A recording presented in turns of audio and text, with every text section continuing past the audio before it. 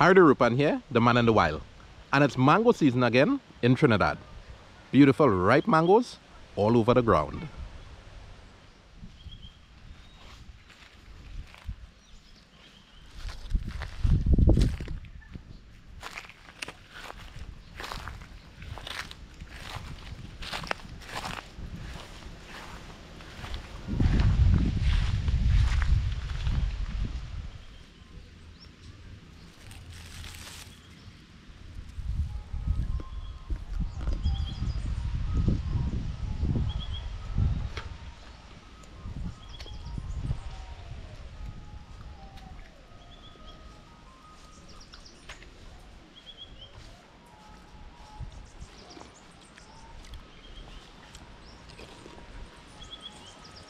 Mmm, delicious.